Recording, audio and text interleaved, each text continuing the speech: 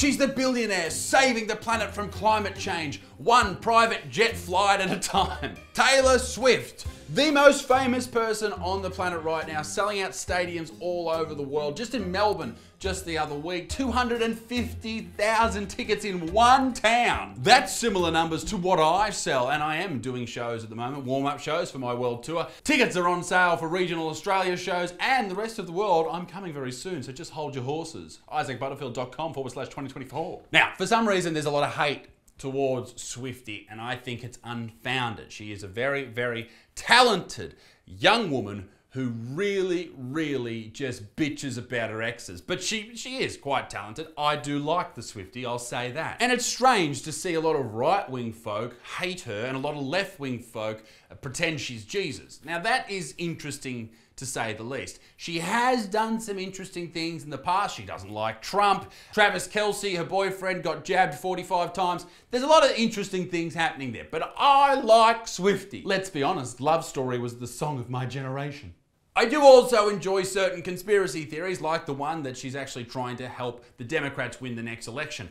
I still don't think that that's completely untrue, but we'll see. And that's actually a popular thought. Nearly 20% of Americans think Taylor Swift is a part of a covert government effort to re elect Joe Biden. Which, let's be honest, isn't the craziest thing the Democrats have done. The number one craziest thing the Democrats have done is having a man with Alzheimer's in the, in the Oval Office. That's probably the worst. America is a nation that can be defined in a single word. I was going to put him, uh, put, put, excuse me. But one story caught my eye about Taylor Swift in the last couple of weeks, and that is a story that all has to do with this dude, Travis Kelce, the dude she's rooting which is Australian for having intercourse with. Now, Travis and Taylor haven't been going out for too long, so they're either going to get married or he's going to turn into a Grammy at some point. I am very interested to see what happens, but Travis is a different type of man. He is not your traditional man. He is not a toxic, masculine piece of shit. He's very different to the rest of us, okay? And therefore, Taylor Swift is destroying toxic masculinity because she's showing young women, old women, women all over the world that you don't have to be with a toxic male piece of shit who, who goes to work and provides for a family. You can have Travis Kelce, this beautiful young man who never would do anything outrageous. And it's led to this. Women are now lusting over lovable soft jocks according to research. Ooh. Now, this story here was brought to you by the filler between your auntie's dinner and her Xanax before bed. The Project. The Project is a left leaning TV show here in Australia that pretends to give the news. So let's have a look what The Project has to say about Swifty and how she's destroying toxic masculinity. The internet is lusting after soft jocks. Is it? Men with huge muscles and none of that toxic masculinity. Okay.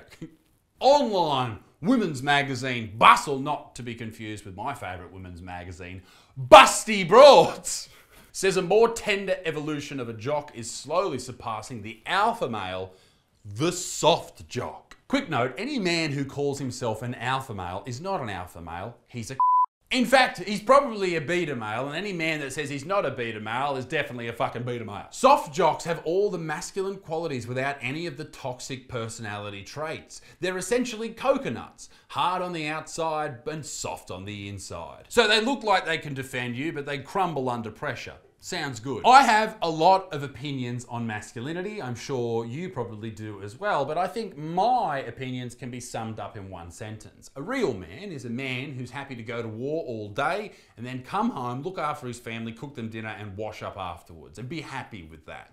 That's a real man, all right?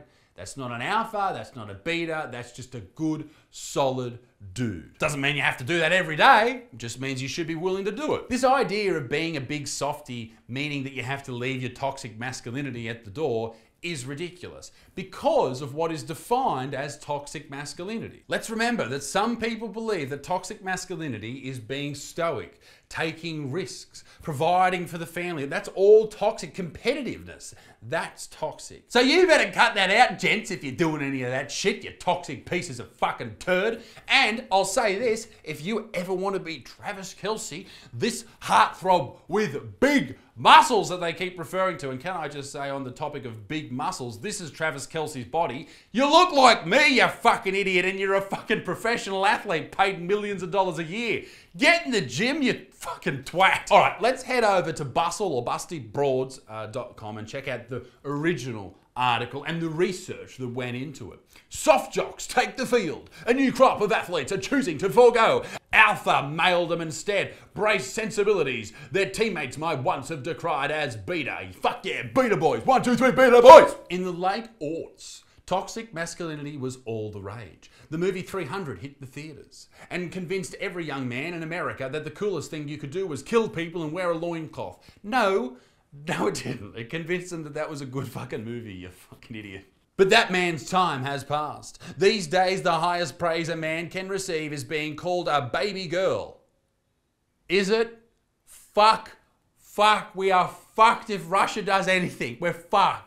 When these men redirect attention from their washboard abs to their soft underbellies, they convey they're nothing like the problematic archetypes of yore. They're sensitive, non threatening, and apparently Princess Diana coded. I don't know what that means, but they sound like the biggest bunch of pussies that have ever lived. Ever fucking lived. Could you imagine storming the beaches on D Day and these fucking beta males are running the show? Oh, I can't do it. Me hay fever. Me hay fever. I can't do Lately, the softening has infiltrated the white hot center of toxic masculinity, the locker room. Whether it's Travis Kelce and his unabashed simping for his girlfriend, Taylor Swift. She's a billionaire, I'd simp for it too. Buy me another island, please, darling. Buy me another island. The article then goes on to talk about all these different players from the Miami Heat and who likes fine art collecting. Uh, Emo King, Jimmy Butler, who spends his free time working on a country music album, playing dominoes, and practicing his latte art. Mate, you can do whatever you want, but also, these are players who are paid millions of dollars a year and they're fucking bored and trying to find something to do, all right? Why don't you ask just a dude who drives trucks all day if he's keen on jumping in a bit of latte art, all right? He doesn't have time between snorting meth and fucking driving for 70 hours a week. He doesn't have time for latte art. He just wants a fucking cappuccino with no sugar because he's on a diet. In saying all of this, you can be masculine and do things that are thought to not be masculine. That's fine. I guess my whole point in this video is what is labeled as toxic masculinity is bullshit. There are men who are toxic, but it doesn't mean that masculinity is inherently toxic. There are many women that are toxic fucking people, but that doesn't mean that femininity is toxic either. There's just toxic pieces of shit out there. I do worry about men though. I, I think that we are facing an absolute crisis when it comes to masculinity, and I think that can be encompassed in this paragraph here. We've witnessed the rise and fall of similar tropes in the recent past. The wife guy, the golden retriever boyfriend, the himbo, and even the yogurt male. The yogurt male, you slightly sour fucking pussy. If I ever get called a yogurt male, I will jump off a fucking bridge. You don't have to be the most masculine man of all time. Just don't be a sloppy fucking yogurt man.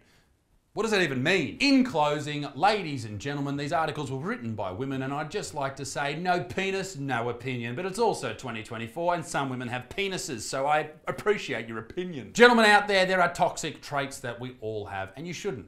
You shouldn't have them. You should work to get rid of them. Ladies, you should also do the same. Uh, and Travis Kelce, he's fine. Taylor Swift, she's fine. Good on yous. You're all doing great. Well done. So proud. You should just keep working every single day to become the best version of yourself. But apparently working on yourself is also toxic. Thanks, Taylor Swift. Anyway, that's the end of the video. Cheerio, ladies and gentlemen. Be a good motherfucker. Peace in the Middle East. Mid extinct. Toodaloo au revoir. Bye. Ladies and gentlemen, thank you very much for watching this fantastic video by me. Now, ladies and gentlemen, some very important news. I am going on a world tour in 2024. If you are in the USA, the UK, Australia, or New Zealand, or any other part of the world, make sure you sign up for tickets at isaacbutterfield.com. And as soon as they become available, you will get an email. You'll be able to get them straight away and you won't miss out. Ladies and gentlemen, thanks for watching. Once again, see you next time. Bye.